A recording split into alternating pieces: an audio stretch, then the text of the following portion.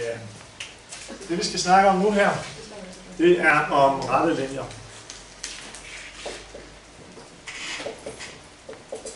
Og I kender jo allerede fra sidste år, så kender I øh, lineær funktion.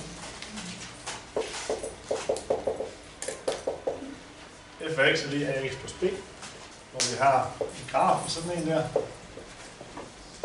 b det er der, hvor øh, x er 0. Det er typisk der, hvor man lægger y-aksen, så vil det være skæring y-aksen. Og når jeg går ind ud af x-aksen, så ændrer min y-værdi som a, det vil sige, at jeg lægger a til. Hvis man skriver det som en funktion, så betyder det, hvis jeg kommer med et x og sætter ind, så er der ligesom en udregning her, og så kommer der en funktionsværdi fra. Nogle gange så skriver man også sådan her. På C-niveau gør man ikke så meget forskel på de to ting der. Og det her, det kalder man for linjens ligning. For hvad? Linjens ligning.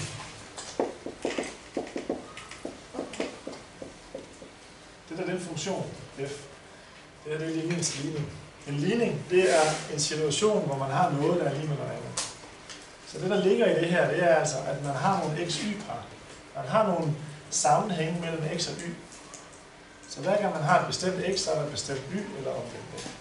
Så i virkeligheden, så kan man, så kan man angive et punkt her. Et x-y-par her, det er et bestemt punkt. Et andet par, det er et andet punkt. Og et andet punkt, og et andet punkt. Og så har man sådan en punktmængde, så har man uendelig mange punkter der. Og det er de punkter, som udgør linjen. Så linjens ligning, det er stort set det samme, ikke? Men det er sådan set en beskrivelse af alle de punkter, som udgør linjen. Det er måske ikke sådan det vildeste, men det er derfor, man bruger y her. Og der er en ekstra forskel, der kommer lige lidt. Så nu er det ikke funktion mere, nu er det, hvordan kan vi beskrive nogle ting, der bliver tegnet. Så groft sagt, ikke? Nu er det geometri, plangeometri. Det er nogle ting, man så tegner i et koordinatsystem, et todimensionelt koordinatsystem. Så jeg fjerner lige vores funktion her. Så det er en måde at beskrive ting. Ja, Nu er det funktion, eller så? det er en beskrivelse af sammenhæng mellem x og y værdier. Altså, det er punkter. vi- vi tager det. det. funktion. En, en, det er næsten det samme. En funktion, det er, hvis jeg kommer med en x-værdi, så er der en måde, hvorpå funktionsværdien kan udregnes på. Der er en lille forskel, vi kommer til lige. Den her er måske linjens ligning. Man kan bare skrive den på en anden måde, men hvis vi skulle koble til det fra sidste år, så ville det være sådan, vi så det. Her der kan vi lave forskellige typer af linjer. Vi kan lave nogle, der går sådan der, vi kan også lave nogle, der går sådan. Altså. Det vi ikke kan lave, når det er en funktion, vi kan ikke lave en lodret linje. Det kan vi ikke. En funktion er det en speciel situation, at man kan ikke have en funktion, for eksempel, hvis graf går sådan der. Det går altid på en eller anden måde sådan. Man kan heller ikke have en funktion, hvis kraft går sådan. Men man kan godt tegne sådan en linje der. Så man vil gerne have en måde at beskrive sådan en linje på. Så nu, den rigtige linjesligning, den kommer nu her i stedet for. Så i stedet for det her, så skriver vi ax plus by plus c er lige 0.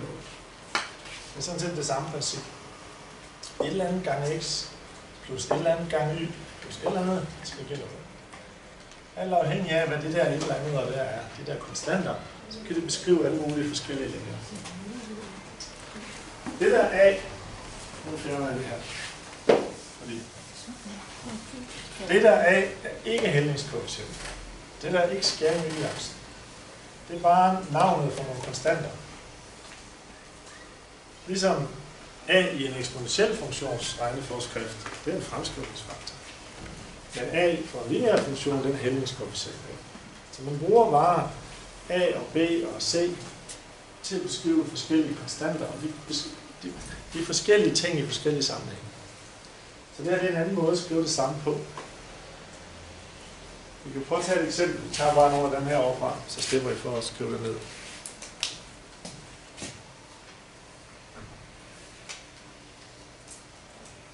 For eksempel siger de, en, der hedder, vi kan måske have her, hvad hedder det? Den hedder 2x plus 4y minus 12 er lige med 0.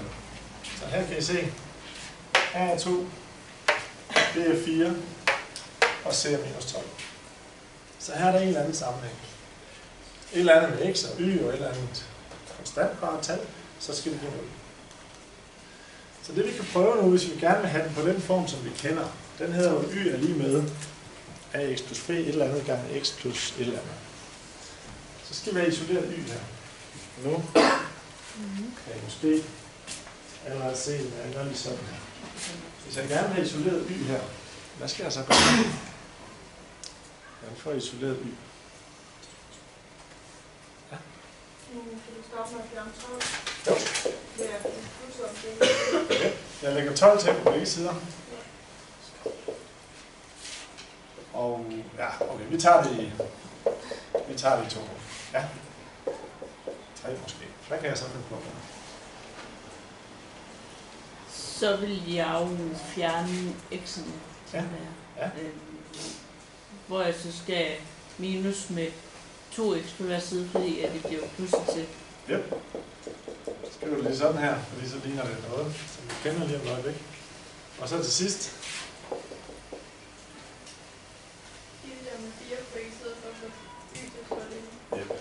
Og jeg gør det bare lige i et hug her. Minus 2 divideret med 4, og 12 divideret med 4. Sådan der. Så det der er altså det samme som det der. Så y er lige med minus en halv x plus 3. Det er en måde at beskrive det på.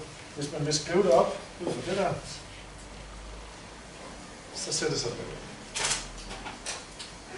Det er bare en anden måde at skrive det sammen på.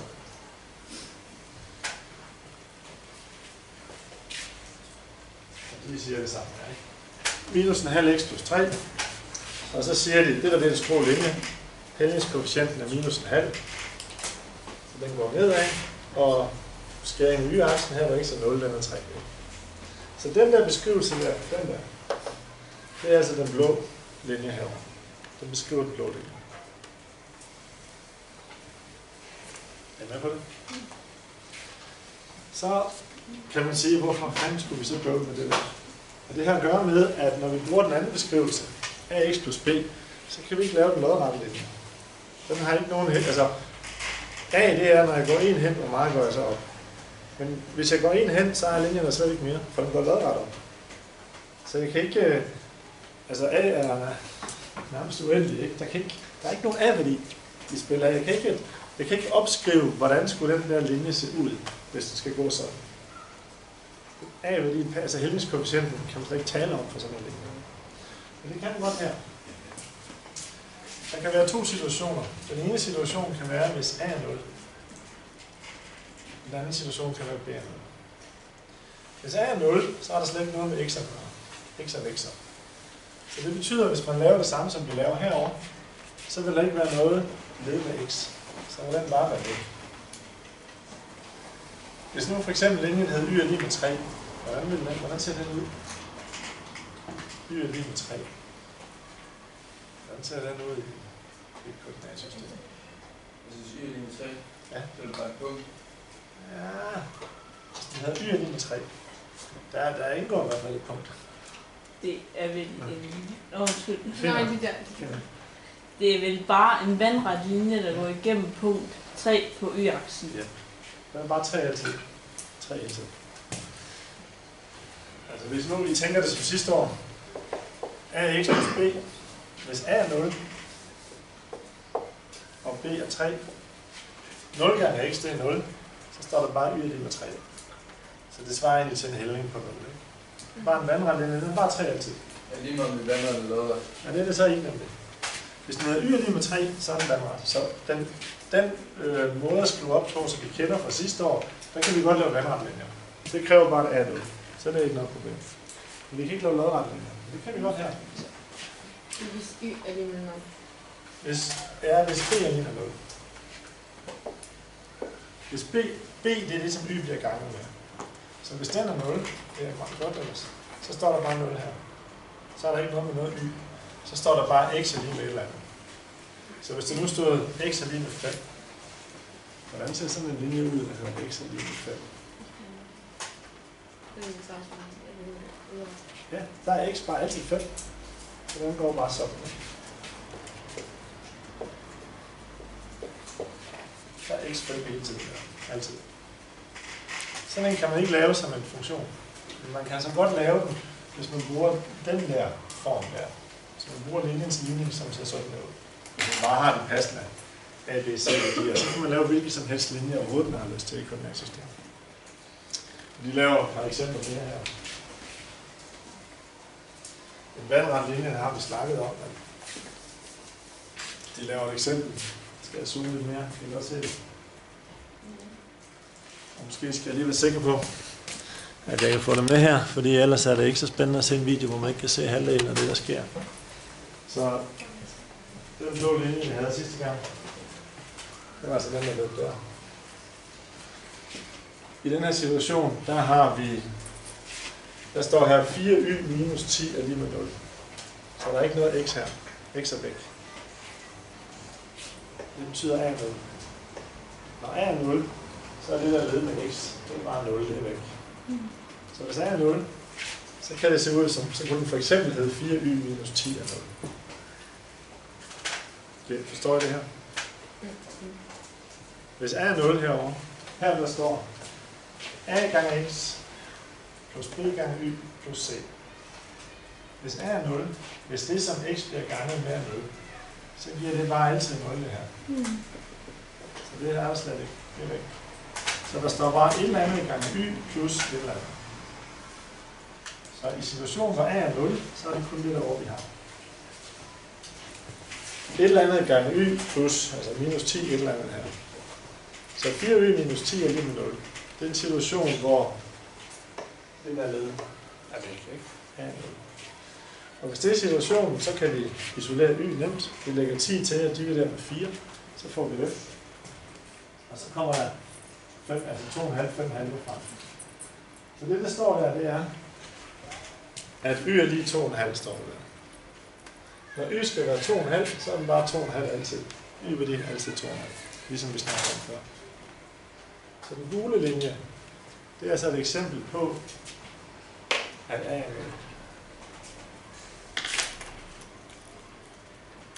Så, okay. De vil så, så vil det give os den der 4y øh, minus 10 Ja. med 0. Og så vil det give os det, ikke også, det. Og så skal vi finde ud af, hvor det skal være lige Det kunne være en opgave.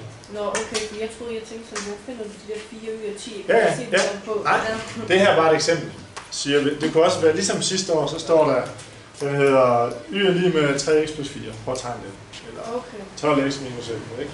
Så det, det her vil det bare være opgaven, at sige, I får den der, hvordan ser den ud? Så kan jeg isolere y, fordi så får jeg den på den form, jeg kender. Og så kan jeg få den tegnet ind. Ikke? Så kommer vi til den tredje mulighed, og det, altså indtil videre, så har vi godt kunne lave det her, med det vi kendte fra sidste år. Men den tredje mulighed, den der, den kan vi altså ikke lave. Og den situation, det er sådan en som den her. Her der står der, 2x minus 4 er lige med 0. 2x minus 4 er lige med 0. Se hvad vi får med derovre. 2x minus 4 er lige med 0. Så der er det der er væk. Der er b 0 Der er ingen y'er i spil her. Så nu kan vi isolere y. Men vi kan isolere x i stedet for. Så det gør vi så. 2x minus 4 er 0. Jeg lægger 4 til og dividerer med 2. Så finder du ud af, at det er 2. Så det, der står der, det er, x bare altid er 2. Så x kan ikke være andet end 2. En funktion normalt, så kan man jo godt sætte forskellige x-værdier ind. Men her er x bare 2 altid. Den linje her. Og hvis vi skal se den, så er det den grønne her. 1, 2, 3, så x er 2. Den er bare altid 2. Men når det har fået givet A, og ikke har B, betyder det så, det betyder jo ikke noget, at vi kender sådan Nej, nej. Og, og det, altså det betyder bare, at b er 0. Og det er en vigtig pointe, og det kan godt være lidt forvirrende. Det der A er ikke hældningskoefficient. Jeg kunne lige så godt kalde den px plus qy plus z eller sådan noget. Det betyder bare et eller andet tal, et eller andet tal, et eller andet tal. Var glemme hældningskoefficienten fuldstændig. Med mindre den hedder y lige af x plus b, så er det hældningskoefficient. Vi skal også glemme, at B det er. Yep. Ja. Det er ligesom, når du har lineære funktioner, så skal du ikke tænke på en fremskrivningsfaktor A. Så skal du tænke hældningskoefficient. Og det er bare et det er bare et tegn, bogstav, man, bare, man plejer bare at bruge A og B og C, for det starter alfabetet med. Men man kunne i princippet bruge hvad som helst andet. Øh, så et eller andet konstant, en konstant, en konstant. Et andet grads polynom, det hedder også ax i anden plus bx plus c. for. Det er det samme. Men det betyder ikke, at a i et andet grads polynom er en. Så det er vigtigt pointe, det der.